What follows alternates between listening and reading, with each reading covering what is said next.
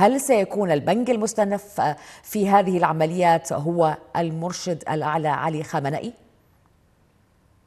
بداية مساء الخير أنسة وجدان لك وللسادة المشاهدين بالفعل آه، تعددت التكهنات حول طبيعة الرد الإسرائيلي على الهجوم الإيراني الصاروخي في مطلع هذا الشهر وكانت على آه، يعني آه، أولى التكهنات أو الاقتراحات هي ضرب إسرائيل للمنشآت النووية بالإضافة إلى المنشآت النفطية بالإضافة إلى وجود أهداف عسكرية. ولكن بالنظر إلى الوتيرة العالية والقوه المفرطة والعمياء التي تستخدمها إسرائيل آه، بات كل شيء متوقع. برأيي أن آه، تخفيف آه، واشنطن والإدارة الأمريكية حدت يعني تفاهماتها أو تصريحاتها مع الحكومة اليمينية المتطرفة في إسرائيل والتي باتت يعني توصي ولا ولا تعطي أيضا لا توجيهات ولا أوامر.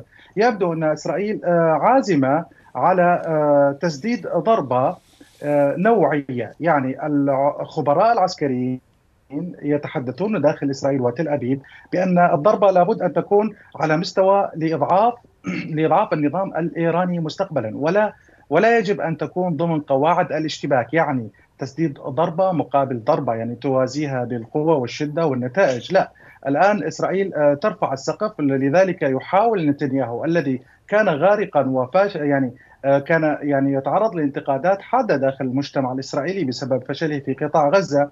نراه في غضون آه، أسابيع قليلة. الآن آه، يشعر بنوع من النشوة والذي يحاول أن يظهر للمجتمع الإسرائيلي بأنه المنقذ يريد استدعاء يعني صوره جولدا مائير في أذهان الإسرائيليين واستدعاء آه، المؤسس هذا الكيان آه، دافيد بن غوريون.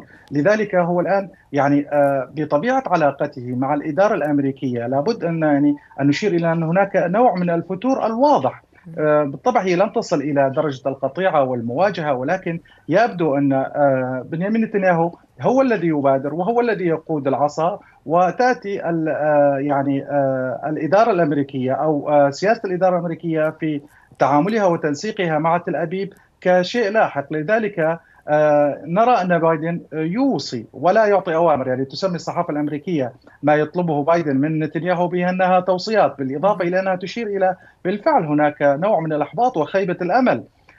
ولكن آه، داخل إسرائيل هناك شبه إجماع وحالة من النشوة سواء في المستوى العسكري أو المستوى السياسي بالإضافة إلى المعارضة. يقولون دعنا نستفيد أو نستغل هذه الفرصة التي لن تتكرر ربما منذ خمسين عاما ألا وهي آه، تسديد ضربة آه، ضد المفاعلات النووية، المفاعلات النووية آه، في في إيران هي يعني كانت كانت إسرائيل تقود رأس الحربة في عام 2020 عندما انخرطت الإدارة الأمريكية الجديدة الديمقراطية يعني في مفاوضات مع طهران في جنيف لكبح جماح الملف النووي خاصة بعد انسحاب ترامب من هذا الاتفاق. ومحاولة بايدن وفريقه يعني تعزيز السبل الديمقراطية. السبل عفوا الدبلوماسية لكبح هذا جماح إيران في حيازة السلاح النووي. كانت إسرائيل طالما تؤيد أو تطرح على الأمريكان بتسديد ضربة ضد المفاعلات النووية. طيب هذه